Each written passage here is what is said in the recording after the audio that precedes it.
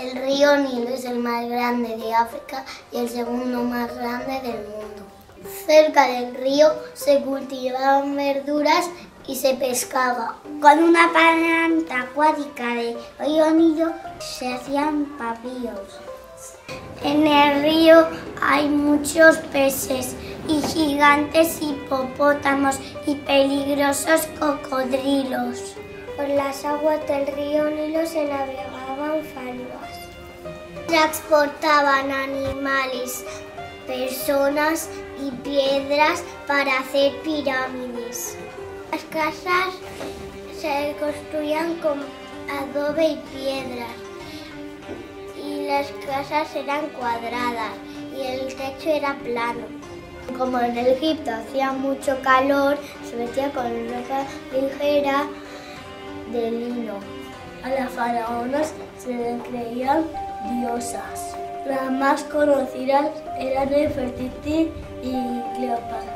Nefertiti fue la esposa de Kenatón. Su nombre significa la belleza ha llegado. Su nombre significa la víbora del Nilo. Era muy bella e inteligente. Habla siete idiomas. Les encantaba maquillarse. Se afeitaba el pelo y usaba las pelucas. Llevaban el leche de. Faraones eran los dioses de Egipto. Su corona se llamaba Neme, con un bastón de mando. Ramsés II fue el primer faraón. Ya llamaron el faraón guerrero porque combatió en muchas guerras. Reinó hasta los 90 años. Otro faraón muy importante fue Tutankamón. Le llamaron el faraón niño porque reinó con nueve años. Murió muy prontito. Su tumba fue encontrada en 1922. Los egipcios creían en la vida después de la muerte. Cuando el faraón murió, lo convertían en momia. Primero se quemaban los órganos internos menos el corazón. Cortaban en vasos canopos y los envolvían en vendas. Lo metían descalzo y cararon con su cara. Las pirámides son el monumento más conocido de Egipto. Para construirlas necesitaban miles de obreros. En el había túneles y cámaras secretas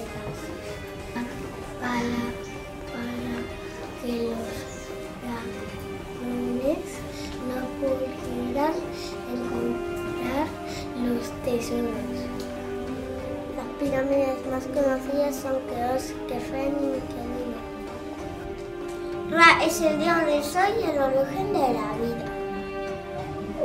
Tiene cabeza de halcón, tiene cuerpo de humano.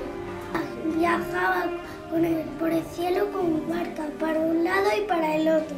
Bastet tenía la cabeza de gato y el cuerpo de humano. Bastet protegía todo el hogar y llenaba toda de alegría. Bastet era la diosa de la armonía y de la felicidad. Tot era el dios de la sabiduría y de los jeroglíficos. Tot tenía cabeza de ibis, era un pájaro y tenía cuerpo de persona. Tot era el dios del tiempo.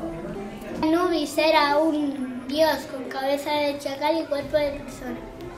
Anubis era el guardián de, de las tumbas y de la muerte. Encargado del juicio de Osiris, pesaban las almas en una balanza.